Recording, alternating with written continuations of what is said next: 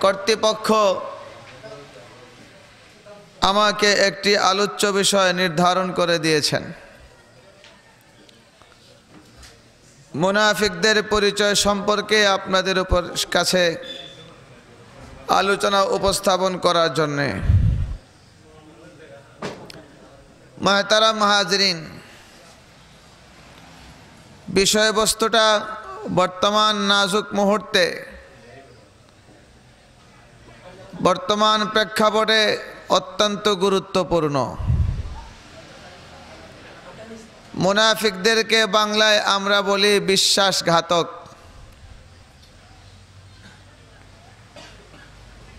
বিশ্বাসঘাতকরা এত মারাত্মক। কোনো জাতিকে ধ্বংস করার জন্য হাজার হাজার বিশ্বাসঘাতক আর মুনাফিকের দরকার হয় না। কোনো একটি জাতি, কোনো একটি রাষ্ট্রকে ধ্বংস করার জন্যে একটা মাত্র মুনাফিকই যথেষ্ট। এজন্য আমাদের জাতির হেফাজত, মুসলিম মিল্লাতের হেফাজত, দিন এবং শরীয়তের হেফাজত, আমাদের স্বাধীন সার্বভৌমত রাষ্ট্র, পৃথিবীর দ্বিতীয় বৃহত্তম মুসলিম রাষ্ট্রের হেফাজতের জন্যে অবশ্যই মুনাফিক এবং বিশ্বাসঘাতকদের পরিচয় আমাদের জানা দরকার। আল্লাহ ফেকরাবুল আলমিন কোরআনের জায়গায় জায়গায় একদম কোরআনের শুরু দিকে সুরায় বাকারাতেই, শুধু সুরায় বাকারাই না সুরায় বাকারার একদম প্রাথমিক দিকেই আল্লাহ ফেকরাবুল আলমিন মুনাফিকদের পরিচয় দিয়েছেন। যেন মুসলিম জাতি মুনাফিকদের অপকর্ম এবং তাদের অনিষ্ট থেকে নিজেদেরকে রক্ষা করতে পারে। মহাতারা মাহাজরিন আমি যে বললাম, কোনো জাতিকে ধ্বংস করার জন্য হাজার মুনাফিক দরকার নাই, একটা মুনাফিকই যথেষ্ট। আপনারা যদি মোটামুটি ইতিহাস জানা থাকে, কিছুটা চর্চা থাকে, ইতিহাসের সাথে সামান্যতম সম্পর্ক যদি থাকে। আশা করি আমার এই বক্তব্যের সাথে আপনারা একমত হবেন। আমরা জানি আমাদের এই ভারতীয় উপমহাদেশ, বাংলাদেশ, ভারত, পাকিস্তান, শ্রীলঙ্কা, বার্মা, আফগানিস্তান সহ এই বিশাল সাম্রাজ্য মুসলমান দেশ দীর্ঘ দুই শত বছর পর্যন্ত ব্রিটিশের গোলামি করেছে। আপনারা এদিকে বয়ান করলে আমার বয়ানের তো কোনো দরকার নাই। আমাদের এই ভারতীয় উপমহাদেশ কত বছর পর্যন্ত পরাধীন ছিল? দুই শত বছর পর্যন্ত ব্রিটিশের হাতে পরাধীন ছিল। ইতিহাস তালাশ করলে দেখা যায়,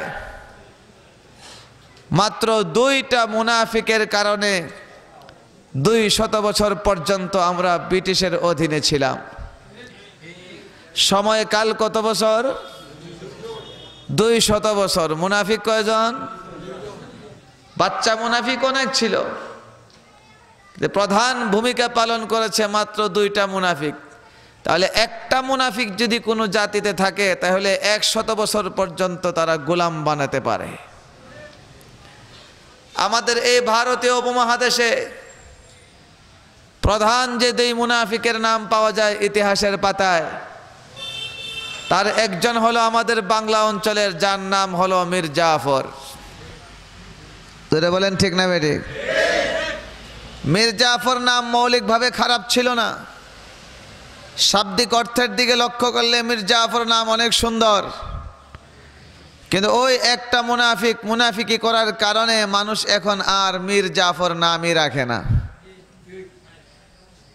বরং মুনাফিকিতে এত প্রসিদ্ধি লাভ করেছে নামটি, বর্তমানে আমাদের সমাজেও কোনো মানুষ যদি কারও সাথে বিশ্বাসঘাতকতা করে, বন্ধুর পোশাক পরে কাকে যদি ধোকা দেয়, আমরা সাথে সাথে বলি, তুই আস্তা একটা মীর জাফর তোরা বলেন ঠিক না? আরেকজন মুনাফিকের নাম পাওয়া যায়, সেও মীর। কি আল্লাহর কারিশ্মা দেখেন? দুনো মুনাফিকের নামের শুরুতে মীর শব্দ আছে। দ্বিতীয় আরেকজন মুনাফিক, সে হলো মীর সাদিক। কয়জন হলো? তার এলাকা হলো মহীশূর অঞ্চল, ভারতে। বাংলাদেশে সিরাজউদ্দৌলার বিরুদ্ধে মুনাফিকি করেছে মীর জাফর। আরেকজন প্রসিদ্ধ মুজাহিদ ছিলেন টিপু সুলতান রহমতুল্লাহ আলাই যিনি ব্রিটিশের হাতে গর্জে উঠেছিলেন ব্রিটিশের বিরুদ্ধে, সেই টিপু সুলতান রহমতুল্লাহ আলাই ব্রিটিশের হাতে শহীদ হয়েছেন। তারই আপন, তার স্ত্রীর আপন ভাই, টিপু সুলতান রহমতুল্লাহ আলের স্ত্রীর আপন ভাই মীর সাদিকের গাদ্দারির কারণে টিপু সুলতান রহমতুল্লাহ আলাই ব্রিটিশের হাতে শহীদ হয়েছেন। টিপু সুলতান রহমতুল্লাহ আলাই এমন প্রতিরোধ গড়ে তুলেছিলেন ব্রিটিশের বিরুদ্ধে। যেদিন টিপু সুলতান রহমতুল্লাহ আলাই শহীদ হয়ে গেলেন, সেদিনই ব্রিটিশ সরকার ইস্ট ইন্ডিয়া কোম্পানি ঘোষণা করল, এখন থেকে ভারত, এই ভারতবর্ষের মালিক হলেও উপরওয়ালা গড, আর শাসন হইল ইস্ট ইন্ডিয়া কোম্পানির। দেশ হইল খুদার শাসন হলো ব্রিটিশের। এবার বুঝেন, এত বিশাল ব্রিটিশ শক্তির বিরুদ্ধে একজন মাত্র মুজাহিদ টিপু সুলতান রহমতুল্লাহ আলাই গর্জে উঠেছিলেন। আর সেই টিপু সুলতান রহমতুল্লাহ আলাই শেষ পর্যন্ত পরাজিত হয়েছেন, শহীদ হয়েছেন। কার হাতে? ব্রিটিশের হাতে, কার মুনাফিকের কারণে? মীর সাদিকের মুনাফিকের কারণে। তাহলে মোহতারাম হাজরিন বোঝা গেল কোনো জাতিকে গোলাম বানানোর জন্যে, কোনো জাতিকে ধ্বংস করার জন্যে, কোনো দেশকে পরাধীন করার জন্যে হাজার হাজার লক্ষ লক্ষ মুনাফিকের দরকার হয় না। একটা মাত্র মুনাফিকই যথেষ্ট। জোরে বলেন ঠিক না বেটি? এই জন্য আল্লাহ পেকরাবুল আলমিন কোরআন কারিমের জায়গায় জায়গায় মুনাফিকদের পরিচয়, তাদের আচরণ এবং পরকালে তাদের কি পরিণাম হবে আল্লাহ পরিষ্কার ভাষায় বলে দিয়েছেন।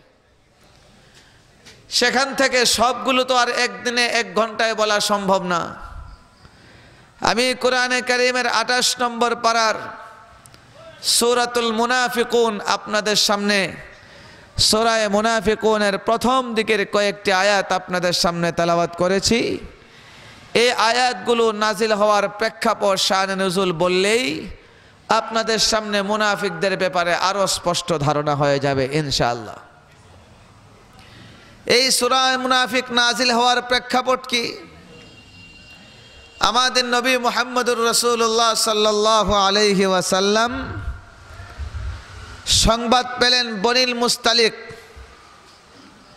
বনি মুস্তালিক গোত্রের একজন সর্দার, যার নাম হলো হারেস। এই লোকটা মুসলমানদের বিরুদ্ধে, আল্লাহর নবীর বিরুদ্ধে যুদ্ধের আয়োজন করে যাচ্ছে, মদিনা আক্রমণের ষড়যন্ত্র করে যাচ্ছে। সংবাদ পাওয়া মাত্রই আমাদের নবী মোহাম্মদুর রসুল্লাহ সাল্লাহ আলহি ওয়াসাল্লাম সাহাবায় কেরামের মুজাহিদ বাহিনী নিয়ে নবী রওনা হয়ে গেলেন তার বিরুদ্ধে জেহাদ করার জন্যে, অ্যাকশন নেওয়ার জন্যে।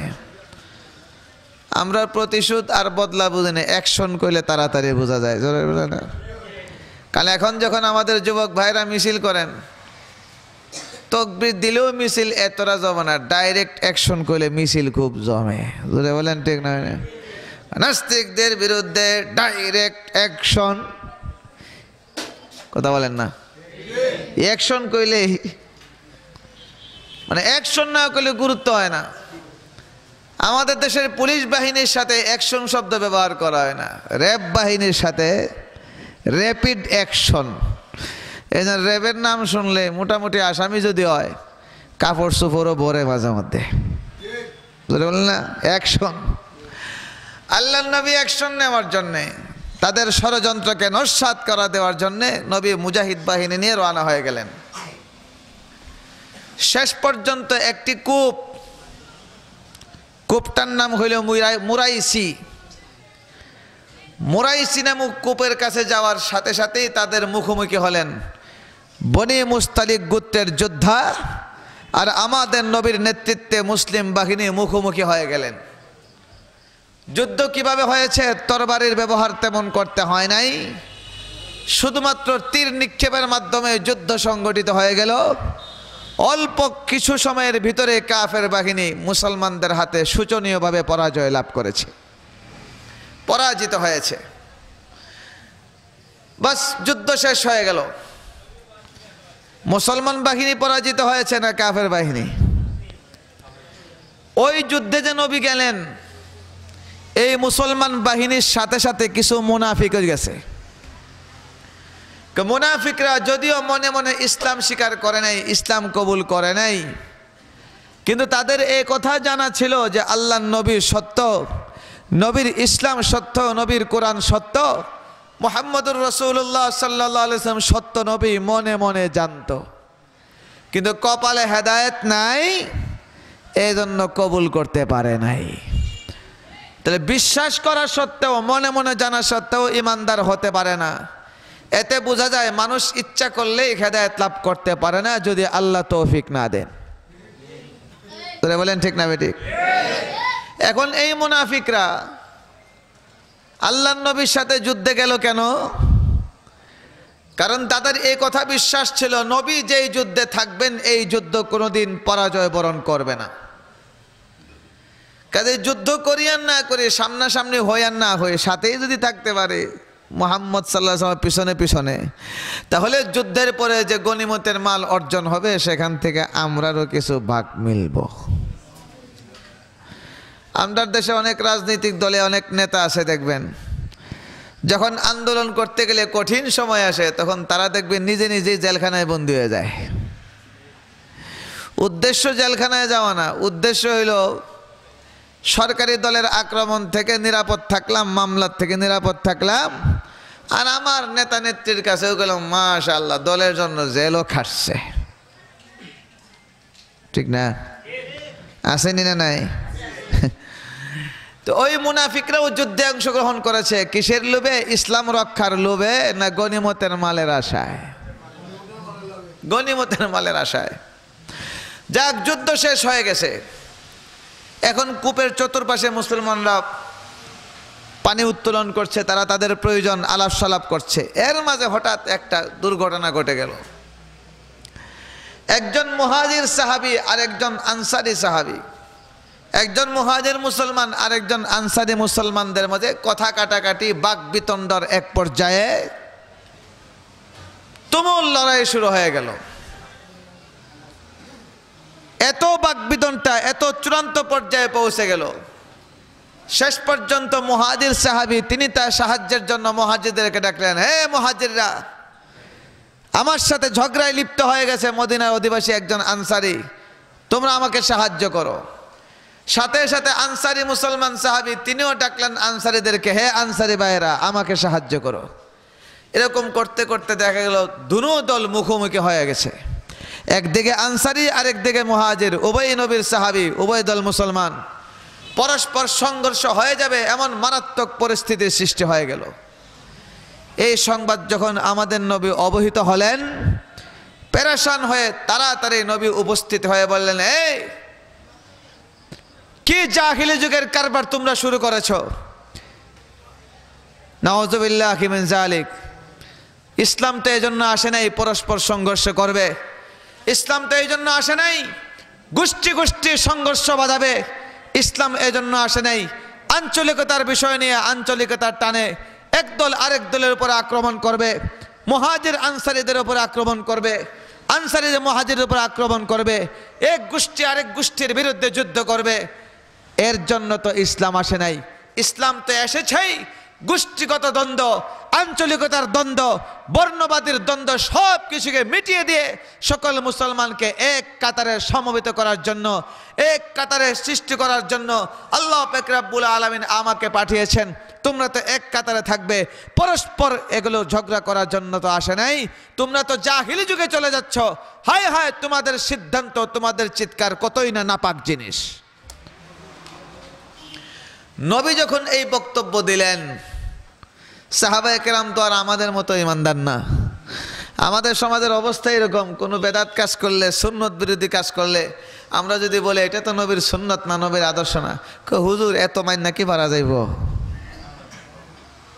বলে কি বলে না? আমার এক মুসল্লি, পাঁচক্তের মুসল্লি না, জুমার মুসল্লি, তার বিবাহের গায়ে হলুদ, এই সেই অনুষ্ঠান, গেটের সাজাইছে, আমি বাধা দিলাম। আমি বললাম, আপনি মসজিদের সাথে জড়িত মসজিদের খেদমত করেন, আপনার ফ্যামিলিতে যে অবস্থা হয়? কুজুর বুঝি তো এখন পোলামান কয়, এত মাইন কেয়ার পারা যাইব? আয়, হায় হায় হায়। যারা কিছু মানে কিছু মানে না, আল্লাহ বলেন, এরা আমার ধ্বংসের হাত থেকে রেহাই পাবে না। ইসলাম কিছু মানার জন্য, কিছু ছাড়ার জন্য আসে নাই। আমাদের নবী সাল্লাহ ইসলাম যা নিয়ে দুনিয়াতে এসেছেন, সব মানতে হবে।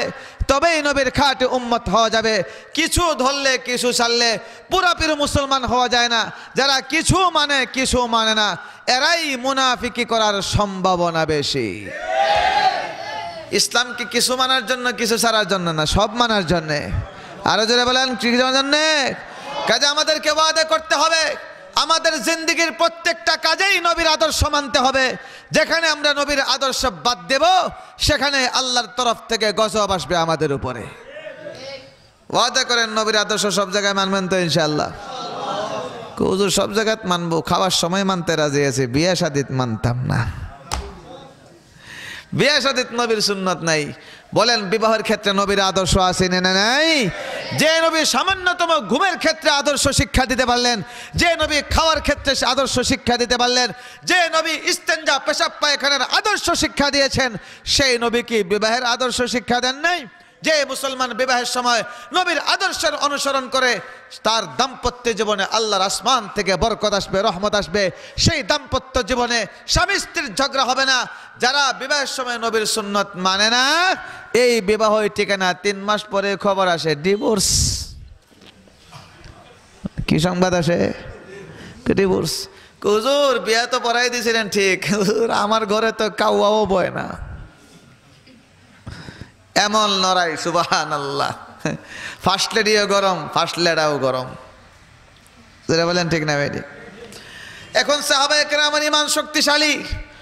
নবী যখন বললেন, হায় হায়, তোমরা জাহিলি যুগে চলে যাচ্ছ। ইসলাম আসার পরে, হেদায়ত আসার পরে, কোরআন আসার পরে।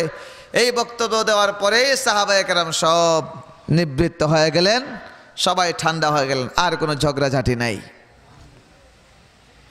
এখানেই শেষ। নবী চলে আসলেন। ওই দলে মুনাফিকদের সর্দার আবদুল্লাহ ইবনে উবাই ছিল। সে এটাকে মহা সুযোগ মনে করল কে এবার একটা সুযোগ আসছে মুসলমানদের বিরুদ্ধে ষড়যন্ত্রের। সে করল কি আনসারি সাহাবিদেরকে উত্তেজিত করতে শুরু করেছে। তোমরাই মদিনাবাসী? কোথাকার মক্কার এই সমস্ত বহিরাগত মানুষ, রিফুজি? এদেরকে তোমরাই আশ্রয় দিয়েছ মদিনায়, তোমরাই টাকা পয়সা দিয়ে সাহায্য করেছ, তোমরাই বাড়িঘর সব কিছু দিয়ে সাহায্য করেছ, আর এখন তারাই তোমাদের মাথা খেতে বসেছে, কোথায় মক্কা থেকে এসে এখন আমাদের বিরুদ্ধে ঝগড়া করে কত বড় সাহস। সাবধান, এখন থেকে তোমরা প্রতিজ্ঞা করো, এদেরকে আর টাকা পয়সা দিয়া অর্থনৈতিকভাবে বাড়িঘর দিয়ে আর সাহায্য করবা না, এই সিদ্ধান্ত তোমাদেরকে নিতে হবে। আর এবার এই যুদ্ধ থেকে মদিনায় যাওয়ার পরে আমাদের মদিনার সম্মানিত লোকেরা এই সমস্ত বহিরাগত নিকৃষ্ট লোকদেরকে মদিনার থেকে বের করে দিবে। এখানে সে সম্মানিত বলে মদিনাবাসীদেরকে উদ্দেশ্য নিয়েছে। আর কম মূল্যের নিচু জাতের মানুষ বলে মুহাজির লোক সাহাবি এবং আল্লাহ নবীকে উদ্দেশ্য করেছে। নিচু লোক বলে। সে যখন এই বক্তব্য দিচ্ছে, তখন সেই আনসারি আরেকজন অল্প বয়স্ক সাহাবি, জায়দ ইবনে আরকম রাদিয়াল্লাহু তাআলা আনহু ইমান তো পরিপূর্ণ ইমানের প্রদীপ আর ইমানের আলো তো ভিতরে প্রজ্বলিত, কাজে তাকে ধোকা দেওয়া সম্ভব না। জায়দ ইবনে আরকম রাদিয়াল্লাহু তাআলা আনহু অল্প বয়সের সাহাবি, তিনি বুঝতে পারলেন এর উদ্দেশ্য ভালো না। ইনিও আনসারি। তিনি বুঝে ফেলেছেন, এ আবদুল্লাহ ইবনে আসলে তো মুসলমান না? এ তো আসলে মুনাফিক। সে তো নবীর বিরুদ্ধে ষড়যন্ত্র করে যাচ্ছে। নবীর বিরুদ্ধে আনসারি মুসলমান ভাইদের বিরুদ্ধে, মুহাজির মুসলমান ভাইদের বিরুদ্ধে আনসারিদেরকে উত্তেজিত করে যাচ্ছে। কাজে তার দুর্বিসন্ধি ভালো না। সাথে সাথে জায়দ ইবনে বলেন, এই, আব্দুল্লাহ ইবনে তোমার উদ্দেশ্য ভালো নয়। আমি বুঝে ফেলেছি তোমার দুর্বিসন্ধি। আমি এই মুহূর্তে যাচ্ছি আর নবীর কাছে তোমার বিরুদ্ধে সংবাদ জানাতে যাচ্ছি। মুনাফিকরাও এত বেত্তমিস থাকে, এরা কোনো কথা স্পষ্ট করে বলে না। একটু পথ রাখে।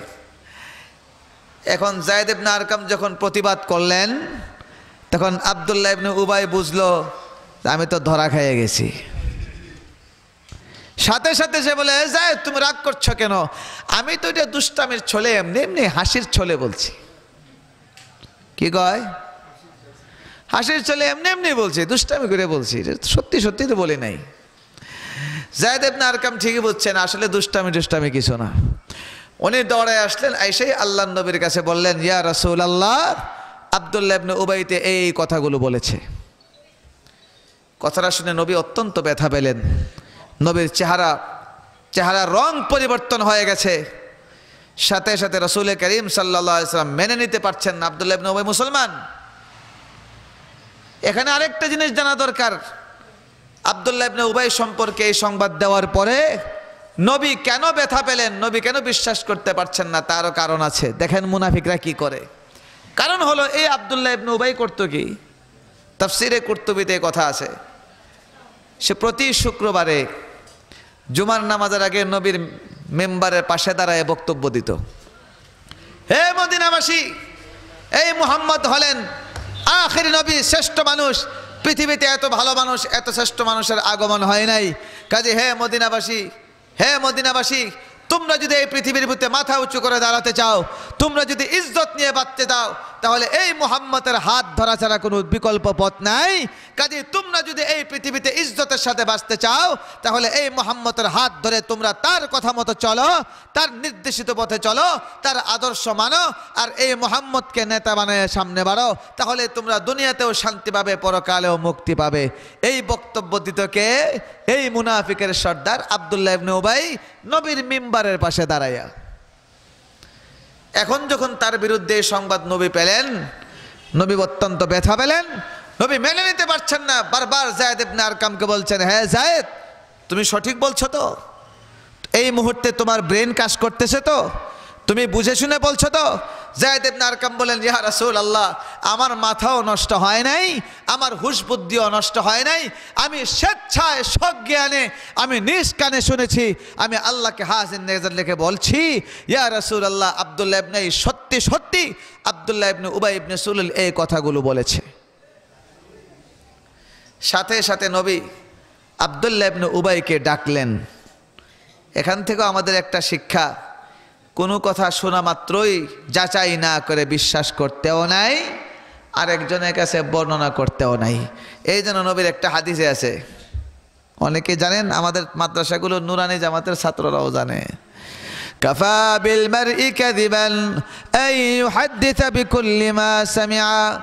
আমাদের নবী বলেন কেউ যদি তোমার কাছে একটি কথা বলে, তুমি যাচাই না করে আরেকজনের কাছে যদি এই কথাটা বর্ণনা করো, আল্লাহ নবী বলেন, এটাই তোমাকে মিথ্যাবাদী সাব্যস্ত করার জন্য যথেষ্ট। কোনো কথা শোনা মাত্র যাচাই না করে আরেকজনের কাছে বর্ণনা করলে, আল্লাহ নবী বলেন, তুমি মিথ্যাবাদী হিসাবে যথেষ্ট। যাচাই করে তারপরে বর্ণনা করতে হবে, সিদ্ধান্ত নিতে হবে। এখন রসুল করিম সাল্লা সাল্লাম জায়দ ইবনে আরকামের কথা শোনা মাত্রই সিদ্ধান্ত নিতে পারতেন। কিন্তু নবী যাচাই করার জন্য আবদুল্লাহ ইবনে উবাইকে ডাকলেন। ডাকার পরে জিজ্ঞেস করলেন হ্যাঁ আবদুল্লাহ ইবনে উবাই সত্যি সত্যি তুমি কি এমন কথা বলেছ? আল্লাহর কসম আমি বলে নাই। কার সামনে বলে? নবীর সামনে বলে কয়, আল্লাহর কসম আমি বলি নাই। এ কথা বলার পরে নবী তাকে ছেড়ে দিলেন। এবার জায়দ ইবনে আরকাম বড় চিন্তায় পড়ে গেলেন। কারণ সেও তো একটা গুত্রের সর্দার। এখন মদিনার সমস্ত আনসারি সাহাবি জায়দ ইবনে আরকামদের দোষারোপ করতে শুরু করলেন। তুমি আমাদের সর্দারের বিরুদ্ধে মিথ্যা বলেছ। ইনি হলেন জায়দ ইবনে আরকাম নবীর সাহাবি। কিন্তু হজরত উমর রাজি আল্লাহ আনহু, ঠান্ডা না গরম? কথা বলেন না। খালি বুঝি কাফের ডরাইতো। ইবলিসও উমরে দেখলে রাস্তা ছেড়ে দিত। কিন্তু উমরের সামনে গিয়ে লাভ নাই। হজরত উমর বলেন, ইয়া রসুল আল্লাহ জায়দের বক্তব্য মিথ্যা হতে পারে না এই আব্দুল্লাহ ইবনে উবাই মুনাফিক, আপনি আমাকে অনুমতি দিন, আমি এই আবদুল্লাহ ইবনে উবাইয়ের মাথাটা কেটে আপনার পায়ে নিক্ষেপ করব অথবা আপনি যদি আমাকে অনুমতি না দেন, তাহলে আপনি আমাকে এটা অনুমতি দেন, আমি নিজ হাতে হত্যা না করলেও বিশ্রের মাধ্যমে আমি আরেকজন সাহাবীর কথা বলেন তাকে আমি নির্দেশ দিব, তার মাধ্যমে এই আবদুল্লাহ ইবনে জায়েদের মাথাটা কেটে আপনার পায়ে উপস্থিত করব। নবী বলেন, হে উমর, এটা আমি করব না। কারণ কারণ এই মুনাফিক যেহেতু আছে, বোঝা গেল মুনাফিক একজন না আরও আছে। ইবলিস কি একটাই? না আরও আছে। শয়তান তো একটা না। মূলটার নাম হইল ইবলিস, বাকি শয়তানের সহযোগী আছে লক্ষ লক্ষ, কোটি কোটি। জোরে বলেন ঠিক না বেটে শয়তানের সহযোগী, ইবলিসের সহযোগী শুধুমাত্র শয়তান জাতিতেই না ইবলিসের সহযোগী, শয়তানের সহযোগী, মানুষের ভিতরেও অভাব নাই। জোরে বলেন ঠিক না বেঠিক এই জন্য মুনাফিকদের, সর্দারদেরকে আল্লাহ মানুষ বলেন নাই। যারা মুনাফিকি করে, মুনাফিকদেরকে যারা নেতৃত্ব দেয়, আল্লাহ পাকরাবুল আলমিন কোরআনে কারিমে তাদেরকেও শয়তান বলেছেন। মহাতারা মাজরিন আল্লাহ নবী বলেন, আমি যদি এখন হত্যার অনুমতি দেই, তাহলে এই মুনাফিকরাই সারা বিশ্বে প্রচার করবে আমার বিরুদ্ধে। কেমন নবী মোহাম্মদ নবতী দাবি করে, আবার নিজের সাহাবিকেই নিজে হত্যা করে। কারণ আবদুল্লাহ ইবনে উবাই বাহ্যিকভাবে তো সে মুসলমান। সে কালিমা পরে নবীর পক্ষে দাওয়াত দে মসজিদে দাঁড়ায় বক্তব্য দে নবী বলেন, এবার যদি আমি তাকে হত্যা করার নির্দেশ দেই, তার চেলা ফেলারাই সারা দয়েশ গরম করে ফেলবে। কেমন নবী তোমরা মানো যে নবী তার নিজের সাথী, নিজের সাহাবিকে হত্যার অনুমতি দে এটা কেমন নবী? আমার বিরুদ্ধে বদনাম করবে। কিছুক্ষণ পর এই আবদুল্লাহ ইবনে উবাই ইবনে সুলুল, তারই নিজের সন্তান, নিজের জন্ম দেওয়া সন্তান, ছেলের নামও আবদুল্লাহ, বাবার নামও আবদুল্লাহ, ছেলের নামও আবদুল্লাহ, বাবা আবদুল্লাহ মুনাফিকের সর্দার, কিন্তু ছেলে আবদুল্লাহ হলেন নবীর পাক্কা আশেক দেওয়ানা। হেদায়ত খেদায়তের মালিক কে? আর একটু জোরে বলেন কে? এটাই দুনিয়ার ইতিহাস।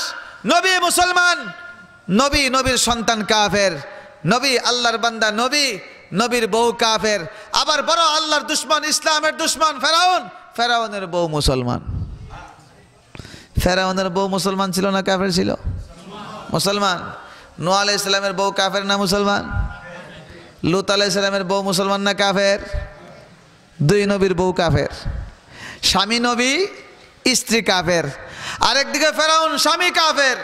পৃথিবীতে যত বড় বড় কাফের গিয়েছে, তার মাঝে একজন হইল ফেরাউন, অথচ তার বউ হইল মুসলমান। কই থেকে কইছি আমি? কুজুর আপনি বানায় বানায় কইতেছেন। কোরআনে কারিমে আছে। এই আঠাশ নম্বর পাড়াতেই। ضرب الله مثلا للذين كفروا امرأة نوح وامرأة لوط. كانتا تحت عبدين من عبادنا صالحين.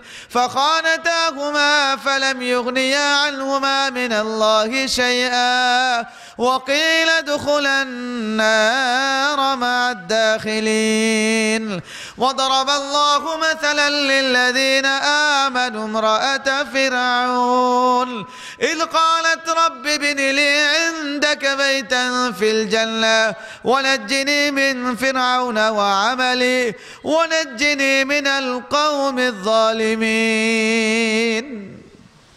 فرعون البو مسلمان ফেরাউন ডাকলো তার বউকে বিবি সাহেবকে ডেকে ক আমার বউ কি তুমি যদি আমারে ক্ষুদা না মানো মানসে আমারে ক্ষুদা মানবো কারণ তুমি হইলে আমার স্ত্রী কথা বলেন না।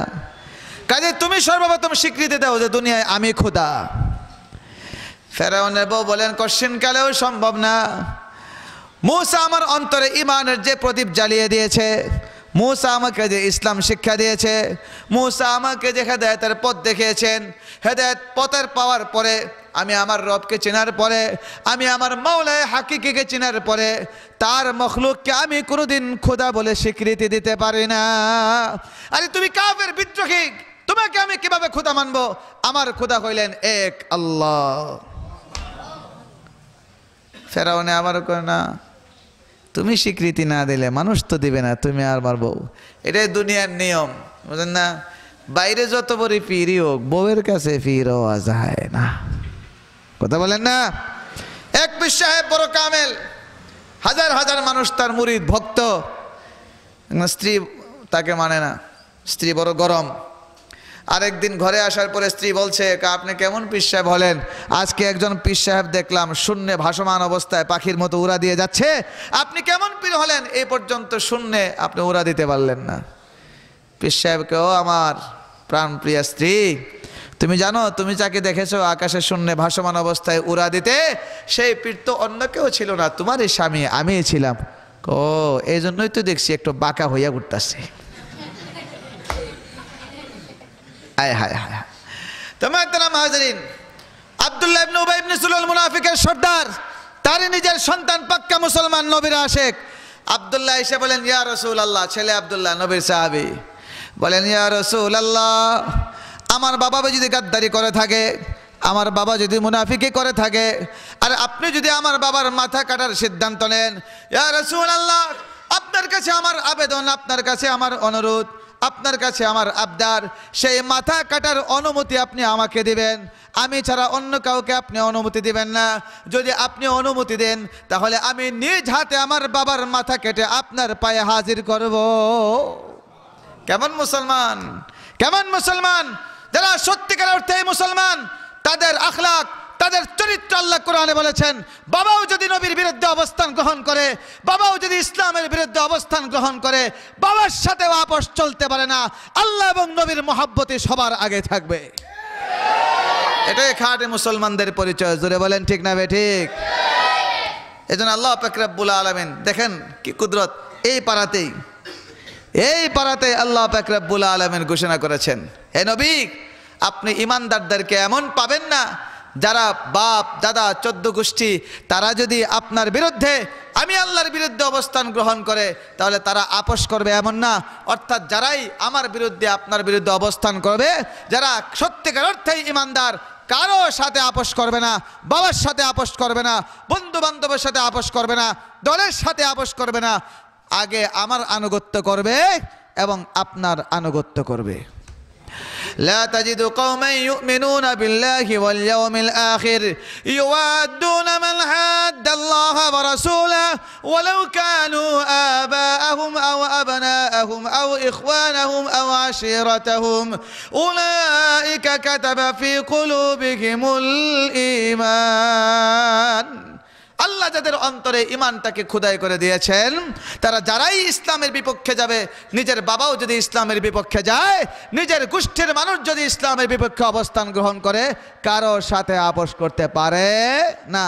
এটাই হলো খাটে ইমানদারের পরিচয়। আর মুনাফিক যদি হয়, বাবা দূরের কথা, একটু টাকা পাইলেই কথা বলেন না। কিরে, ব্যাপার কি? তুই না আমার পক্ষে আসলে, এখন আমার বিপক্ষে গেলে কত টঙ্কা পাইছি? কথা বলে আগে? দিবেন? দিবেন? আপনাকে বলল, আপনি একজন নির্জ হকদার। বলে হ্যাঁ বিচারে বসলে তোমার পক্ষে রায় হবে। রাতের বেলা যখন বিশাল বড় একটা রুই মাছ পাঠিয়ে দিয়েছে মুরব্বীর বাড়ির, বিচার ছিল আপনার পক্ষে। আগামীকালকে বিচারে যায় দেখবেন, রায় চলে গেছে আপনার বিপক্ষে। জুড়ে বলেন, এমন মানুষ নাই আমাদের সমাজে। তুই কত দিছস? তুই দিছস এক হাজার। ওই বিপক্ষ দল আমাকে আরও দুইশো টাকা বেশি দিছে, বারোশো টাকা। কাজে বিচার তো তোমার পক্ষে আসতে পারে না। এই তো আমাদের ইমানের অবস্থা, জোরে বলেন ঠিক না? এখন ছেলে আবদুল্লাহ বলেন, ইয়া রসুল আল্লাহ আপনি আমাকে অনুমতি দিন। আমি আমার বাবার মুনাফিক বাবার মাথা কেটে আপনার সামনে উপস্থিত করব। নবী বলেন, না। তখন আব্দুল্লাহ বলেন, ইয়া রসুল আল্লাহ আমি আমার বাবার ভক্ত। আপনি জিজ্ঞেস করে দেখুন, মদিনার প্রত্যেকটি মানুষ জানে, আমার চেয়ে বাবা ভক্ত কোনো ছেলে মদিনায় নাই। এবার আপনি যদি আমাকে আমার বাবার মাথা কাটার অনুমতি না দেন, অন্য কোনো মুসলমানকে যদি অনুমতি দেন। আর আমি তো আমার বাবার ভক্ত, অন্য কোনো মানুষ যদি আমার বাবাকে হত্যা করে, তাহলে হতে পারে আমার ব্রেন বিগড়ে যাবে, আমার ব্রেন নষ্ট হয়ে যাবে, আমার মাথায় কাজ করবে না, তখন আমি কোনো অনাকাঙ্ক্ষিত ঘটনা ঘটে ফেলতে পারি। এই যে আমার অনুরোধ, যদি আপনি আমার বাবার মাথা কাটার সিদ্ধান্ত নেন এই অনুমতিটা যেন আমাকেই দান করেন। আমি ছাড়া অন্য কোনো মুসলমানকে সেই অনুমতি দিবেন না। নবী বলেন, না না, আব্দুল্লাহ, আমি তোমার বাবার মাথা কাটার কোনো অনুমতিই দিব না। আমি তোমার বাবার মাথা কাটার কোনো সিদ্ধান্তই নিব না। সম্পূর্ণ কার হাতে? আমি তো এমন সিদ্ধান্ত নেই নাই। এখানে এই পর্যন্তই শেষ। উবাদা ইবনে সামেত রাদিয়াল্লাহু তাআলা আনহু, তিনিও বুঝতে পারলেন যে জায়দ ইবনে আরকামের কথাই সত্য, আবদুল্লাহ মিথ্যা বলছে। তিনি গোপনে তার কাছে আবার গেলেন আলাদাভাবে। বলেন হ্যাঁ আবদুল্লাহ ইবনে ওবাই এখনও সময় আছে। তুমি তোমার অপরাধ নবীর কাছে স্বীকার করো, তাহলে নবী তোমার জন্য আল্লাহর কাছে ইস্তেকফার করবেন। নবী যখন তোমার ব্যাপারে আল্লাহর কাছে ইস্তেকফার করবেন, সুপারিশ করবেন, হয়তো আল্লাহ নবীর সুপারিশের কারণে তোমার সমস্ত অপরাধ ক্ষমা করে দিবেন। কাজে তুমি এক কাজ করে, এখনও সময় আছে? তুমি নবীর কাছে যে অপরাধ স্বীকার করে নাও। হে ওবাদা, তুমি কি বলো? এগুলো কি বলো? কে এমন তো নবীর ইস্তেকফারের আমার দরকার নাই। কত বড় বেদ নবীর ইস্তেকফারের দরকার নাই দরকার তুমি কি বলো এগুলো? খুব মেটে মানে অবহেলা করল, একদম গ্রহণ করতে রাজি না সে। তুচ্ছ তাচ্ছিল্য করে সরাই দিল। এখন নবীজি সাল্লাহ সাল্লাম এমন যখন কানা ঘুষা চলতে লাগল, মহাজেররা মনে করে মুনাফিক, ঠিক আছে আবদুল্লাহ ইবনে উবাই। আর আনসারেরা মনে করেন, না, জায়দ ইবনে আরকাম হয়তো ভুল বলছে। এখন কানা ঘুষা চলছে পরস্পর পরস্পর। এই জন্য নবী তার স্বাভাবিক নিয়মের বিরুদ্ধে নবীর স্বাভাবিক অভ্যাস ছিল যুদ্ধের পরে এক জায়গায় অবস্থান করতেন দীর্ঘ সময়। কিন্তু নবী তার স্বাভাবিক আখলাকের বিরুদ্ধে ব্যতিক্রম খুব দ্রুত এখান থেকে রওনা হয়ে গেলেন। সাথে সাথে সাহাবা একরামকে বললেন, এখানে আর অবস্থান করব না, সফর শুরু করো। লাগাতার এক রাত, এক দিন ফুল লাগাতার নবী চলতে থাকলেন, কোথাও থামেন না। কারণ নবীর উদ্দেশ্য হলো, যেখানে আমি অবস্থান গ্রহণ করব, আবার এই কথাগুলো আলোচনা চলবে। হতে পারে আনসারি আর মহাজ্জিরদের মধ্যে আবার ঝগড়া বাঁধতে পারে। এই জন্য নবী এই সুযোগ দিতে রাজি নয়। নবী লাগাতার সফর করতেই থাকলেন, সফর করতেই থাকলেন। দীর্ঘ একদিন এক রাত সফর করার পরে নবী আরেক জায়গায় তাবু ফেললেন অবস্থান করার জন্যে। আর জায়দ ইবনে আরকাম ওনার দিলে দিলে বিশ্বাস। জায়দ ইবনে আরকাম বলেন, আমি তো জানি, আমি সত্য বলেছি। আমি জানি আবদুল্লাহ ইবনে মুনা উবাই মুনাফিক। কাজেই অর্থাৎ জায়দ ইবনে আরকাম বলেন, আমার দিলে বিশ্বাস ছিল হয়তো আসমান থেকে কোনো ফয়সালা আসবে। সুবহানাল্লাহ। হয়তো আসমান থেকে কোনো ফয়সালা আসবে। এত বড় মুনাফিক, এত মিথ্যা বলেছে। আমি সত্য বলেছি। আল্লাহ আমাকে লজ্জিত করবেন না, বেজ্জতি করবেন না। এই জন্য জায়দ নারকাম বলেন, আমি সুযোগ পাইলে নবীর কাছে ঘুর ঘুর করি। কখন জানি আসমান থেকে কোনো সংবাদ আসে। হঠাৎ করে দেখা গেল আল্লাহ নবীর চেহারায় ওসিয়া ওহি আসার লক্ষণ দেখা যাচ্ছে। সুবাহান আল্লাহ ওহি আসার লক্ষণ দেখা যাচ্ছে। হঠাৎ করে নবী মুসকি হাসি দিলেন। মুসকি হাসি দিয়ে ডাকলেন হ্যাঁ জায়দ ইবনার কাম আসো আসো, সাদ্দাকাকাল্লাহ, আল্লাহ তোমাকে সত্যায়ন করেছেন, তোমার কথা সত্য। জায়দ আসো, তোমার কথা সত্য। বলে ডাক দিয়ে নবী তেলাওয়াত শুরু করলেন। إذا جاءك المنافقون قالوا نشهد إنك لرسول الله والله يعلم إنك لرسول والله يشهد إن المنافقين لكاذبون আল্লাহ পাক রব্বুল আলামিন বলেন নবী ইদা যা আকাল মুনাফিকুন। মুনাফিকরা যখন আপনার কাছে আসে, তখন আইসে কি বলে? নাশহাদু ইন্নাকা লা রাসূলুল্লাহ আমরা সাক্ষ্য দিচ্ছি, নিশ্চয়ই আপনি আল্লাহর রাসূল। নাশহাদু নাশহাদু তো আমরা সাক্ষ্য দিচ্ছি। ইন্নাকা, নিশ্চয়ই আপনি লা রাসূলুল্লাহ তাকিদের উপরে তাকিদ। নিশ্চিতভাবে নিশ্চিতভাবে আমরা সাক্ষ্য দিচ্ছি আপনি আল্লাহর রাসূল। কারা বলে এই কথা? মুনাফিকরা যখন নবীর দরবারে উপস্থিত হয়। এখন আল্লাহ কি বলেন? আল্লাহ বেকরাবুল আলমিন বলেন, হে নবী, মুনাফিকরা আপনার দরবারে এসে সাক্ষী দে আপনি সত্য রসুল। কারণ আবদুল্লাহ ইবনে এই মসজিদে এসে নবীর মিম্বারে দাঁড়ায়, নবীর পক্ষে বক্তব্য দিত, নবীর কথা বলতো, নবীর প্রশংসা করত, মদিনাবাসীকে নবীর প্রতি ইমান আনার জন্য দাওয়াত দিত। আল্লাহ বেকরাবুল আলমিন বলেন হে নবী আবদুল্লাহ ইবনে উবাই, আপনার পক্ষে যতই বক্তব্য দে, আপনার মেম্বারের পাশে দাঁড়াইয়া যতই আলোচনা করে, যতই আপনার প্রশংসা করে, আল্লাহ ফেকরাবুল আলমিন বলেন, এই প্রকৃত পক্ষে এই মুনাফিকদের অন্তরে ইমানের চিহ্ন মাত্র নাই। তারা আপনাকে সাক্ষী দেয়। এ কথা বলে, আপনি আল্লাহ রসুল সাক্ষ্য দিচ্ছি। আল্লাহ বলেন, তাদের সাক্ষীর কোনো মূল্য আমার কাছে নাই। আপনি যে সত্য নবী, এই কথা তো আমি আল্লাহই সাক্ষী দিচ্ছি। কাজে আমার আল্লাহর সাক্ষী যথেষ্ট। ওই মুনাফিকদের স্বীকারোক্তি আর ওই মুনাফিকদের সাক্ষীর কোনো মূল্য নাই। এই জন্য পরের আয়াত আল্লাহ কি বলেন? والله يعلم إنك لرسوله والله يشهد إن المنافقين لكاذبون আল্লাহ বলেন হ্যাঁ নবী তারা বলে এই কথা আমরা সাক্ষ্য দিচ্ছি আপনার রসুল আল্লাহ পাক রব্বুল আলামিন বলেন আপনি যে আল্লাহর রসুল মুনাফিকদের সাক্ষীর দেওয়া দরকার নাই আল্লাহ নিজেই জানেন আপনি যে আল্লাহর রসুল সাথে সাথে আল্লাহ বলেন নবী তারা সাক্ষ্য দিচ্ছে। তারা বলে এই কথা, আপনি আল্লাহ রসুল। আল্লাহ বলেন, আর আমি কি সাক্ষ্য দেই? আল্লাহ বলেন আল্লাহ সাধু ইন্নাল মুনাফিকিন আলাকা দিবুন তারা সাক্ষ্য দিচ্ছে, আপনি আল্লাহর রসুল।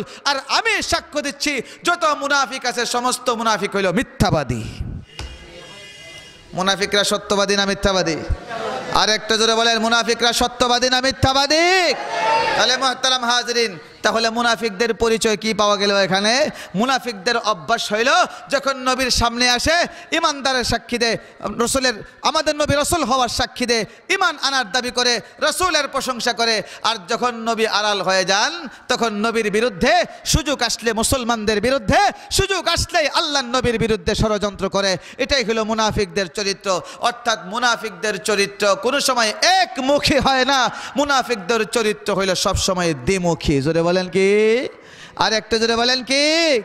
এই জন্য তাদের এই চরিত্র এখানে যেমন আল্লাহ ফুটিয়ে তুলেছেন যে তারা সামনে আসতে বলে, আল্লাহর রসুল, আপনি আবার আড়ালে গেলে আপনার বিরুদ্ধে ষড়যন্ত্র করে। আল্লাহ বলেন তারা যে ইমানের দাবি করে, এটা সত্য ইমান নয়। তাদের ইমানের দাবি হইল সম্পূর্ণ মিথ্যা। এই কথাটাকে আরও স্পষ্টভাবে আল্লাহ পাকরাবুল আলমের সুরে বাকরা শুরুতে আরও স্পষ্টভাবে আমাদের সামনে উপস্থাপন করেছেন, আয়াত নাজিল করেছেন। মুনাফিকদের একটা চরিত্র কি? আল্লাহ পাকরাবুল আলমের বলেন সুরায় বাকারায়। وإذا لقوا الذين آمنوا قالوا آمنا. وإذا خلوا إلى شياطينهم قالوا إنا معكم إنما نحن مستهزئون. আল্লাহ পাকরাবুল আলমিন বলেন মুনাফিকদের অভ্যাস হলো তারা যখন কোনো ইমানদারের সাথে সাক্ষাৎ করে সাহাবাই কারামের সাথে যখন সাক্ষাৎ করে নবীর সাগরিদদের সাথে যখন সাক্ষাৎ করে যুগে যুগে মুসলমানদের সাথে যখন সাক্ষাৎ করে তখন মুনাফিকরা কয়, তোমরা যেমন খাটে আসে কে রাসুল তোমরা যেমন নবীর জন্য দেওয়ানা তোমরা যেমন পাক্কা ইমানদার আমরাও পাক্কা ইমানদার। এরপরে কি করে? আল্লাহ বলেন, ওয়াইদা খালাউ ইলা শায়াতিনহিম ক্বালু ইন্না মাআকুম ইন্নামা নাহনু মুস্তাহজিউন। এই কথা ইমানদারদের সাথে বলার পরে তারা যখন তাদের নেতাদের সাথে সাক্ষাৎ হয়, তখন নেতারা জিজ্ঞেস করে, কি ব্যাপার? তোমরাও বুঝি মুহাম্মদের দলে সামিল হয়েছ? তোমরা বুঝি মুহাম্মদকে সমর্থন করেছ? না, চিন্তা করেন না। মুহাম্মদের সাথে নাই। আপনাদের সাথেই আছি। তাহলে বললে যাও করে উমরে উসমানের রাস্তা দেখলাম, দাঁড়ায় বলতেছিস, তোরাও ইমানদার। এটা ইমানের কথা তাদেরকে বলছি।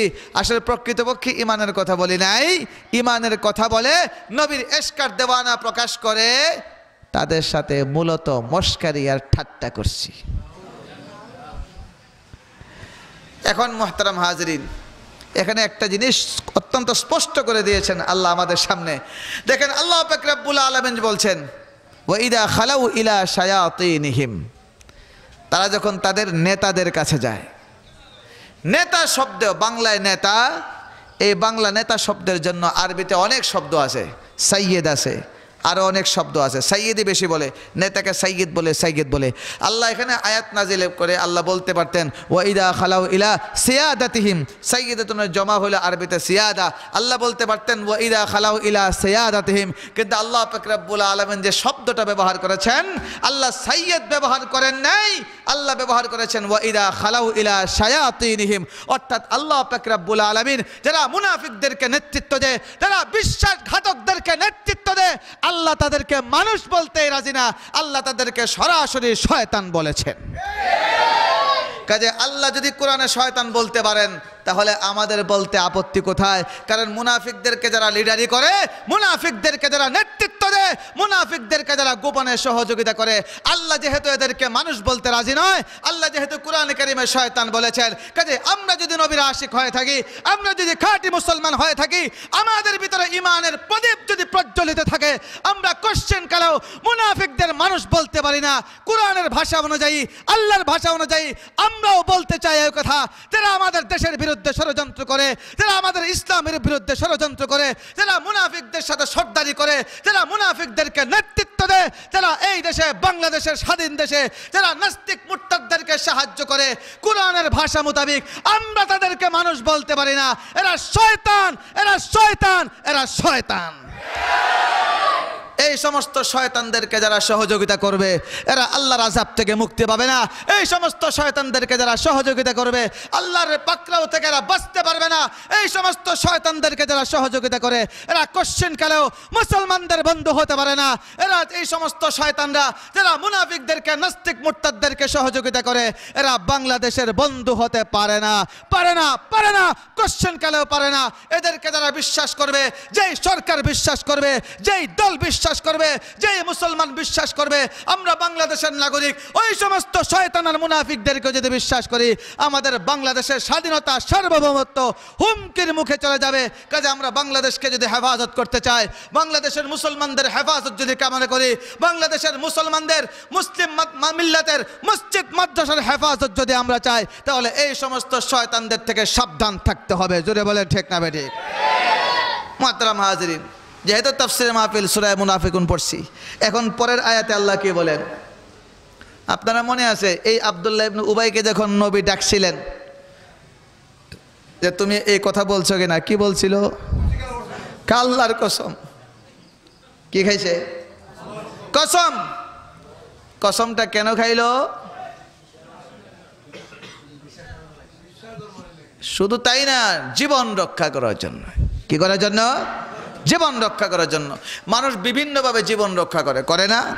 যুদ্ধের ময়দানে শত্রুর আক্রমণ থেকে নিজের জীবন রক্ষার জন্য মানুষ কি ব্যবহার করে? ঢাল ব্যবহার করে করে কিনা? ঢাল ব্যবহার করে নিজের জীবন রক্ষার জন্য। এখন আল্লাহ পেকরাবুল আলমিন বলছেন, পরের আয়াতে, এই আবদুল্লাহ ইবনে উবাই ইবনে সুলুল, সে যে নবীর সামনে কসম খাইলো, আল্লাহ বলেন, কসমটাকে তে নিজের জীবন রক্ষার জন্যে এবং তার মুনাফিকের গাদ্দারকে আড়াল করার জন্য সে এটাকে ঢাল বানাইছে। কি বানাইছে? ঢাল। এখন মানুষের সামনে ঢাল বানাইতে পারো আল্লাহ নবীর সামনে মিথ্যা কসম করে ঢাল বানাইতে পারো, আল্লাহকে ফাঁকি দিতে পারবে না। পারবে? কথা বলেন না? এখন দেখেন কি বলেন? ইত্তাখাযু আইমানাকুম জান্নাতান ফাসাদ্দু আন সাবিলিল্লাহ ইন্নাহুম সাআ মা কানু ইয়ামালুন। আল্লাহ পাক রব্বুল আলামিন বলেন, আব্দুল্লাহ ইবনে উবাই নবীর সামনে কসম খায়া, নবীর সামনে শপথ করে সেই শপথটাকে তার মুনাফিকিকে আড়াল করার জন্য সে তার জীবন রক্ষার জন্য এটাকে ঢাল বানাইছে। কি বানাইছে? এখন ঢাল বানায় তার মুনাফিককে যদি আড়াল করে, মুনাফিকরা কি কখনো ভালো কাজ করে? কথা বলেন না। ভালো কাজ করে একবার যার পকেট মাইরা অভ্যাস হয়ে যায়। কথা বলেন না। একবার যার পকেট মাইরা অভ্যাস হয়ে যায়। এ পকেট মাইর ছাড়া থাকতে পারে না। কোনোদিন যদি বৃষ্টি, আবহাওয়া খারাপের কারণে বাইরে যাইতে নাও পারে, বউয়ের পকেটও মারে। শুনে বলেন না ঠিক না বেরি সে অভ্যাস করে থাকতে পারে না। যারা পকেট মাইরার অভ্যাস এটা রাত্রে ঘুমাইয়ে দেখবেন পকেট মারতেছে। বিছনা চাদর কাইটে শেষ করে হলায় পকেট কাইটে অভ্যাস হয়ে গেছে। মুনাফিকি করে যাদের অভ্যাস, এরা মুনাফিকি ছাড়তে পারে না। এই জন্য আল্লাহ বলেন, সে যে এখন ঢাল বানাইলো, শপথ, মিথ্যা শপথটাকে কেন? পরবর্তীতে মুনাফিকি করে মুসলমানদেরকে যেন আরও বেশি হকের পথ থেকে মানুষদেরকে বাধা দিতে পারে, মানুষকে যেন হেদায়তের পথ থেকে আরও বিরত রাখতে পারে। এই জন্য সে মিথ্যা কসম খাইয়া ঢাল বানাইছে। اتخذوا أيمانهم جنة فصدوا عن سبيل الله ফসদ্দু আন সাবিলিল্লাহ আল্লাহ বলেন কসমটাকে ঢাল কেন বানাইছে যেন আল্লাহর রাস্তা থেকে মানুষদেরকে বাধা দিতে পারে হেদায়েতের পথ থেকে মানুষদেরকে বাধা দিতে পারে মানুষকে কোরআনের পথ থেকে সরায় রাখতে পারে মানুষকে আল্লাহ নবীর ইত্তেবা আল্লাহ নবীর আনুগত্য থেকে সরায় রাখতে পারে মানুষদেরকে যেন আল্লাহর হেদায়েত থেকে সরায় রাখতে পারে এই জন্য সে মিথ্যা কসম খেয়ে মিথ্যা কসমটাকে সে ঢাল বানাইছে এখন তাদের এই কাজটা ভালো না খারাপ? জোরে বলেন। আমরা খারাপ কইছি? আল্লাহ বলেন আল্লাহ বলেন, আবদুল্লাহ ইবনে উবাই যে কাজটা করেছে, আল্লাহ বলেন, কতই না নিকৃষ্ট কাজ সে করেছে। অত্যন্ত নিকৃষ্ট কাজ। এই নিকৃষ্ট কাজের ফলাফল কি? ভিন্ন জায়গায় আল্লাহ কি বলেছেন? ইন্নাল মুনাফিকিনা ফিদ্দারকিল আসফালি মিনান নার। আল্লাহ বলেন, এরকম ঘৃণ্য, এরকম জঘন্য কাজ যারা করে, এমন নিকৃষ্ট কাজ যারা করে মুনাফিকে করে, আল্লাহ বলেন, এদেরকে সেকেন্ড ক্লাস জান্নাত জাহান নামে রাখব না। আল্লাহ বলেন জাহান নামের একটা ফার্স্ট ক্লাস আছে। বুঝতে বলেন না? জাহান নামের ফ্লাক্স ফার্স্ট ক্লাসের মধ্যে আগুন কম না বেশি? এটা উল্টা তো। জান্নাতের একটা ফার্স্ট ক্লাস জান্নাত। আর জাহান্নামের ফার্স্ট ক্লাস অর্থাৎ জাহান্নামের ফার্স্ট ক্লাস হইল এটা সবচেয়ে কঠিন জাহান্নাম। জোরে বলেন, ঠিক না বেডির আল্লাহ বলেন, যারা মুনাফিকি করে, এদেরকে আল্লাহ পাকরাবুল আলমের জাহান্নামের একদম নিকৃষ্ট জায়গায় আল্লাহ রাখবেন মুনাফিকদেরকে। কারণ যারা কাফের, বেঈমান, এরা মুসলমানদেরকে ধোকা দিতে পারে না। এরা ধোকা দিতে, কারণ সে তো বেঈমান, আমি জানি। সে আমার বিরুদ্ধে অবস্থান গ্রহণ করবে। এই লোকটা মুসলমান না। সে ইহুদি, সে নাসারা, সে বৌদ্ধ সন্ত্রাসী, সে খ্রিস্টান সন্ত্রাসী, সে ইহুদি সন্ত্রাসী, সে শিখ সন্ত্রাসী, সে হিন্দু সন্ত্রাসী, এগুলো আমরা জানি। আমি তার থেকে সতর্ক থাকতে পারি। কিন্তু মুনাফিকরা, সে তো ইমানের দাবি করে। সে মুসলমান হওয়ার দাবি করে। সে মুসলমানিত্বের দাবি করে। এই জন্য সে ধোকা দিতে পারে মুসলমানদেরকে খুব সহজে। জোরে বলেন, ঠিক না ঠিক? এই জন্য যারা মুনাফিক আল্লাহ পেকরাবুল আলমিন বলেন, এরা জাহান্নামের স্বাভাবিক জাহান্নামে থাকবেন না। আল্লাহ বলেন, জাহান্নামের মধ্যে আরও সব থেকে কঠিন যে জাহান্নাম, সেই কঠিন জাহান্নামের ঠিকানা হবে কাদের? মুনাফিকদেরকে। জোরে বলেন, ঠিক না বে ঠিক? মহাতারাম হাজরিন। একজন দাড়ি নাই, মুছ নাই, শার্ট প্যান্ট পরে একজন মানুষ হ্যাঁ ইসলামের কথা বলে ভণ্ডামি করে দুঃখা দিতে পারবে না। সে ভণ্ডামি করলে মানুষ যাই না তুমি আলেম না জালেম না? বেশভূষা, দাড়ি নাই, মুছ নাই, তুমি কি ইসলামের কথা বলো? কিন্তু আরেক ভণ্ড যদি বিশাল পাগড়ি লাগাইয়া পেটটারে একটু বড় করে যদি বসে, তাহলে সাধারণ মানুষকে ধোকা দেওয়া সুবিধা না? জোরে বলেন, ঠিক না বেঠিক? কারণ সে তো ভাবে সাবে বিশ্বাস হয়েছে বাংলাদেশে একজন আছে না? কথা কন্যা আসেনি? কে?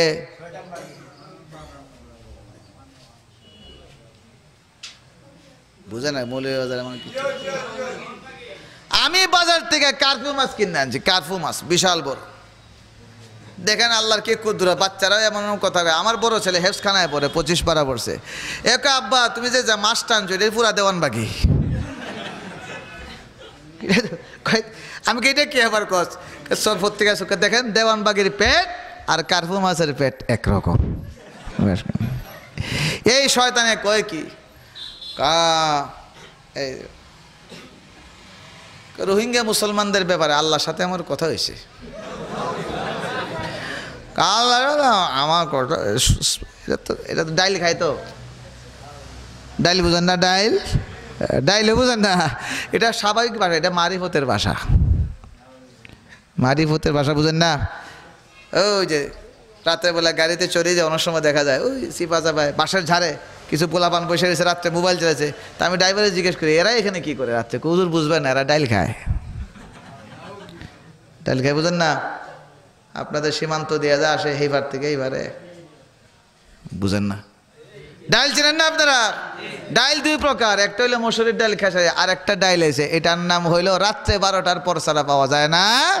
এর নাম হইল হজরত ফেন্সি ডিল। এই ফেন্সি ডিল খায় দেওয়ান বাকি কথা স্পষ্ট করে কইতে পারে না। কাল সাথে আমার কথা হইছে? রোহিঙ্গা মুসলমানদেরকে নিয়ে আল্লাহ খুব চিন্তিত অবস্থায় আছে। বলেন, খাঁটি মুসলমান না মুনাফিক? আর একটু জোরে বলেন, খাঁটি মুসলমান না মুনাফিক? নিঃসন্দেহে কোনো সন্দেহ নেই, দেওয়ানবাগে কোনোদিন মুসলমান হতে পারে না। নিশ্চিতভাবে কাবের সে মুসলমানদের পোশাক পরে মুনাফিকি করে আমাদের দেশের মুসলমানদের ইমান ধ্বংস করার ষড়যন্ত্র করে যাচ্ছে। আরও মুনাফিক বাংলাদেশে আছে। মুসলমানদের কথা বলে, আরেকটা দল আছে বাংলাদেশে, আহমদিয়া মুসলিম জামাত। আমাদের মৌলিবাজার অঞ্চলে নাও থাকতে পারে। কিন্তু এই আহমদিয়া মুসলিম জানাত আজকে গোটা বাংলাদেশের মুসলমানদেরকে ধোকা দিয়ে যাচ্ছে। সেটা হলো আমাদের বাংলাদেশে সব থেকে বড় কোম্পানি এখন, প্রাণ আর এফ এল না? প্রাণ কোম্পানি চিনেন না? আমাদের সিলেট বিভাগেই তো এখন ফ্যাক্টরি হবিগঞ্জে, বিশাল বড়। আর হলো আর এফ এল আর এফ এল এটাও তাদেরই। প্রাণ আর এফ এল যে কোম্পানির মালিক এদের একটা দল আছে, এই দলের নাম হলো আহমদিয়া মুসলিম জামাত। নাম রেখেছে বড় সুন্দর আহমদিয়া মুসলিম জামাত। নিঃসন্দেহে সারা বিশ্বের সমস্ত হক্কানে উলামা একমত। এরা মুসলমান নয়, এরা হলো কাদিয়ানি সম্প্রদায়ের। এরা ধোকা দিয়ে যাচ্ছে আমাদের মুসলমানদেরকে। কশ্চিন কালেও কাদিয়ানি মুসলমান হতে পারে না। সেই কাদিয়ানিকে আপনারা জানেন? তার নাম ছিল গুলাম আহমদ। কি নাম ছিল? গুলাম আহমদ। ভারতে জন্ম। আপনারা ইতিহাস জানেন, এই ভারতবর্ষে ইংরেজরা যখন কিছুতেই আলিমুলামা মুসলমানদের সাথে পেরে যাচ্ছিল না, তখন ব্রিটিশ ভিন্ন একটা পদ্ধতি আবিষ্কার করল।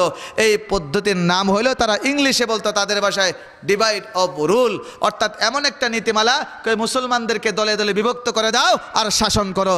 সেই এজেন্ডাকে সামনে নিয়ে তারা একজন নবী তৈরি করেছে ভারতবর্ষে। এর নাম হইল গুলাম আহমদ, বাড়ি হইল ভারতের কাদিয়ান অঞ্চলে। লোকটার নাম হইল গুলাম আহমদ। এই গুলাম আহমদকে নবী বানাইছে কে? ব্রিটিশে। জুড়ে বলেন কে? নবী ব্রিটিশে বানান আল্লাহ বানান? পৃথিবীর সব নবী বানাইলেন আল্লাহ। আর এই গুলাম আহমদ এমন এক নবী যারে বানাইছে ব্রিটিশে। তার মরণ হয়েছে কই? লেফটেনে বইরা। সে প্রথমে বলতো আমি মাহদি। কি বলতো? আমি মাহদি। কিছুদিন পরে কয় মহিলাদের যেমন মাসিক পিরিয়ড হয় কে আমারও পিরিয়ড হয়। আর আল্লাহ নীতিমালা হইল আল্লাহ কোনো মহিলাকে নবী বানানি না এই জন্য যে মহিলারা সারা মাস পবিত্র থাকতে পারে না। মাসে মাসে একটু ডিস্টার্ব হয়, জোরে বলেন ঠিক না ঠিক এই জন্য আল্লাহ মহিলাদেরকে নবুতে দেন না, কারণ নবীর দায়িত্ব চব্বিশ ঘণ্টা সার্বক্ষণিক নবীর দায়িত্ব থাকে, যে কোনো সময় ওহি আসতে পারে। এখন মহিলারা যদি আল্লাহ নবী বানান, এই মুহূর্তে ওহি পাঠানো দরকার। মহিলা নবী কবে আল্লাহ, এখন রেড সিগন্যাল চলতেছে, দিও না, ওহি দিও না। জোরে বলেন ঠিক না ঠিক এখন এই গুলাম আহমদের ক- কা- মহিলাদের যেমন মাসে মাসে একটু ডিস্টার্ব হয় আমি নবীরও মাসে মাসে ডিস্টার্ব হয়। এই গুলাম আহমদ, সে নবতী দাবি করেছে। বলেন, আখিরি নবীকে আর একটু জোরে বলেন, কে? আমাদের নবী বলেছেন, আনা খাতামুন নবীন আমি হইলাম সর্বশেষ নবী। আমার নবী পরে, আমার পরে কোনো নবী নাই। লা নবী ইয়াবাদি নবীর হাদিস, আল্লাহর কোরআন আয়াত সাক্ষী। আমাদের নবী হলেন সর্বশেষ নবী। এখন এই গুলাম আহমদ কাদিয়ানি, সে নবতী দাবি করছে। এর নাম হইল গুলাম আহমদ। কে? গুলাম আহমদ।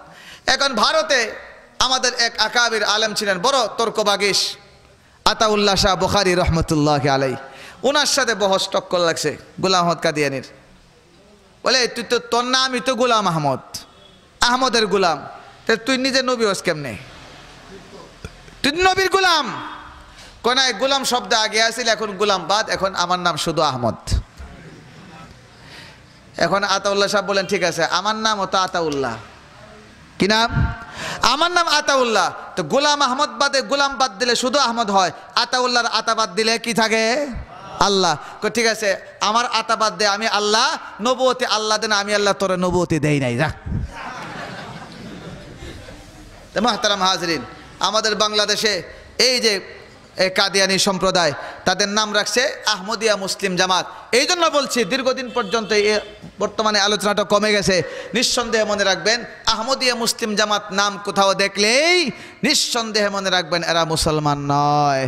এরা কাফের, এরা বেঈমান আর পাকিস্তানে তাদেরকে কাফের ঘোষণা করা হয়েছে। বাংলাদেশে বহু রক্ত আলেমুলামা দিয়েছেন। কিন্তু এখনও পর্যন্ত বাংলাদেশের কোনো সরকারই তাদেরকে কাফের ঘোষণা করে নাই। কেন? আমেরিকার থেকে চোখ রাঙ্গানি দে। কারণ কি? কারণ এখানে আমেরিকার স্বার্থ আছে। এদেরকে দিয়া মুসলমানদের ইমান নষ্ট করা সহজ। এই জন্য কাদিয়ান এদেরকে অমুসলিম ঘোষণা করা হোক। এটা বিশ্বশক্তি মেনে নিতে চায় না। আমেরিকা এই দাবি বাংলাদেশের মুসলমানদের এই দাবি, কোনো সরকার যেন মানতে না পারে। আমেরিকায় প্রেশার সৃষ্টি করে, জাতিসংঘ থেকে প্রেশার সৃষ্টি করে, ব্রিটেন থেকে প্রেশার সৃষ্টি করে। এই জন্য বাংলাদেশ দুর্বল রাষ্ট্র, বাংলাদেশের কোনো রাষ্ট্রই কাদিয়ানিদেরকে অমুসলিম ঘোষণা করে নাই। সরকারিভাবে করুক আর না করুক, আমাদের দায়িত্ব হলো তাদের ব্যাপারে সাবধান থাকা। এই কাদিয়ানি গোষ্ঠী, মুনাফিক গোষ্ঠী মুনাফিক গোষ্ঠী, আমাদের বাংলাদেশের মুসলমানদেরকে যদি হেফাজত করতে হয়, তাহলে এই কাদিয়ানি সম্প্রদায়ের ব্যাপারে সতর্ক থাকতে হবে। জোরে বলেন বেঠিক মহাতারাম হাজরিন, আমাদের এখন, আমাদের হাতে শক্তি নাই, ক্ষমতা নাই, আমরা তাদেরকে কাফের ঘোষণা করতে পারি না। কমপক্ষে এদেরকে সহযোগিতা তো আমরা করতে পারি না। কাজে যদি যদি সত্যিকার অর্থে ইমানদার হয়ে থাকেন, আল্লাহ রসুলের এশকের মোহাব্বত আর ভালোবাসা যদি থাকে, আজকে এখান থেকে ওয়াদা করবেন, আমাদের আত্মীয় স্বজন, অন্যান্য মুসলমানদেরকে সতর্ক করবেন। যথাসাধ্য, একেবারে নিষিদ্ধ, আমি এখন বলতে পারি এত বিপদে আমরা আছি। যথাসাধ্য যেন আমরা চেষ্টা করি, প্রাণ কোম্পানির কোনো জিনিস যেন আমরা খরিদ না করি, আরএফএল কোম্পানির কোনো জিনিস যেন আমরা না কিনি। কারণ এমন একটা অবস্থা করেছে আরএফএল। ঘরের ডেক দেখছি কি, আমরা হবিগঞ্জে লুসনি কয়? মহিলারা কাপড় দিয়ে দইরা নামানা চুলাতে গরম ডেক দেখছি কি কয় এটা আপনার এলাকায়? লুসনিরা পর্যন্ত বানায় এরা। এরা পণ করেছে। বাংলাদেশে আগামী দশ বছরের ভিতরে যে কোনো জিনিস কিনতে গেলেই সেটা যেন আর এফ এল ছাড়া অন্য কোনো কোম্পানির না হয়। এত টাকা পয়সা আর এফ এল পাইল কোথায়? সেটাই তো চিন্তার বিষয়। কোথায় পাইল? এই কাদিয়ান গোষ্ঠীর হেডকোয়ার্টার কোথায় জানেন? তাদের হেডকোয়ার্টার হলো ইসরায়েলে এরপরে মুসলমান বোঝে না, তাদের সব থেকে বড় মসজিদ যেটা, সেটা হলো হল্যান্ডে। সব তাদের কার্যকলাপ হলো অমুসলিম রাষ্ট্রে, হয়তো খ্রিস্টান রাষ্ট্রে, নাইলে ইহুদি রাষ্ট্রে। এই ভারতের বর্তমান যে প্রেসিডেন্ট, প্রধানমন্ত্রী মোদি, প্রধানমন্ত্রী নরেন্দ্র মোদি মোদি যখন গেল কোথায়? ইসরায়েল ভ্রমণ করতে। তখন ইসরায়েলের প্রধানমন্ত্রী কইছে, কয়, আপনার বৈচিত্র্যময় দেশ, হিন্দু আছে, মুসলমানের হ্যাঁ সাম্প্রদায়িকতা মুক্ত দেশ। কয়, আমারও ইসরায়েলও কই যে কাদিয়ানিদেরকে আমরা সব ধরনের সহযোগিতা করি। তো মাহতারাম হাজরিন, এই কাদিয়ানি গোষ্ঠী কখনো মুসলমান হতে পারে না। এই কাদিয়ানি গোষ্ঠী, এরা আল্লাহর ভাষায়, এরা শয়তান এরা শয়তান। শয়তান যেমন মানুষের বন্ধু হতে পারে না, মুসলমানদের বন্ধু হতে পারে না। এই কাদিয়ানি গোষ্ঠী আহমদিয়া মুসলিম জামাত কোশ্চেন কালেও মুসলমানদের বন্ধু হতে পারে না। কাজে আমাদের ইমান, আমাদের আখলা আমাদের দিন যদি হেফাজত করতে চায়, আমাদের পরবর্তী প্রজন্মকে যদি সঠিক ইসলামের উপরে রাখতে চায়, তাহলে প্রাণ আরএফএল কোম্পানির মাধ্যমে এই আহমদিয়া মুসলিম জামাতের মুনাফিক গোষ্ঠী যেন আমাদেরকে ধোকা দিতে না পারে। জোরে বলেন, ঠিক না বেঠিক আল্লাহ পাকরাবুল আলমিন আমাদের সবাইকে মুনাফিকদের কুমতলব, মুনাফিকদের দুর্বিসন্ধি, তাদের মুনাফিকের গাদ্দারি থেকে আল্লাহ পাকরাবুল আলমিন যেন আমাদেরকে এবং গোটা বাংলাদেশের সকল মুসলমানকে হেফাজতে থাকার তৌফিক দান করেন। ও আখির দাওয়ানা আনিল হামদুলিল্লাহ রব্বিল আলমিন। আরে পাঁচ মিনিট কেরাতে গজলে যাবে আমার করতেছে। আপনার যাইবে গা? অনেক বড় বাগ এই যে ওইটাই দিয়েছে সর্বনাশটা করছে সর্বনাশটা করছে। একজন, এই যে, এই আরেকজন উঠতেছে, যতই কয়ে উঠবে খালি। এটাই কি সমস্যা? যে উঠবো আর তার দেখা দিকে আরেকজন উঠবো, তো যে প্রথম উঠছে দেয়। বক্তা হাজির। তাই ওই যে গেছিলেন যে ভাবছেন আমি এত তাড়াতাড়ি, আমি যাব আরেক জায়গায়। নাসির উদ্দিন সৌরভ, আগে নাম আছিল, এখন আনসারি। আলহামদুলিল্লাহ। আমার সাথী ভাই, বয়স আমার বড়, আমার মুরব্বী। দুই বছর আগে তিনি মৌলানা হয়েছেন। আমি দুই বছর পরে একে মাদ্রাসায় পড়াশোনা করেছি। বাংলাদেশে যে কয়জন নাম করা বক্তা এখন আছেন, এর মধ্যে উনিও মাসাল্লাহ নাসিরুদ্দিন আছে, ভালো মাদ্রাসায় পড়ালেখা করেছেন, আলেম ভালো। ঢাকা এক বড় মসজিদের ইমাম খতিব। আপনারা যাবেন গে আর? কথা বলেন না? ওহো, তাহলে বললাম না নাসিরুদ্দিন সাহেব ও সুবাহান আল্লাহ ডক্টর আফমা খালিদ সাহেব। আলহামদুলিল্লাহ বলেন। ছোট মানুষ না বড় মানুষ? আর একটু জোরে বলেন কত বড়? অনেক বড় অনেক বড় অনেক বড় আল্লাহওয়ালা নসলের মানুষ। আমার আব্বাই খুব মহাব্বত করেন। গত পরশু দিন আমাদের হবিগঞ্জের এক প্রোগ্রামে দাওয়াতের জন্য আমি ফোন করেছিলাম হুজুরের কাছে। কিন্তু মিলছে না তারিখ। চট্টগ্রামে অনেকগুলো প্রোগ্রাম ওনার। গবেষক মানুষ, আমাদের বাংলাদেশের মুসলিম মিল্লাতের একটি বড় সম্পদ।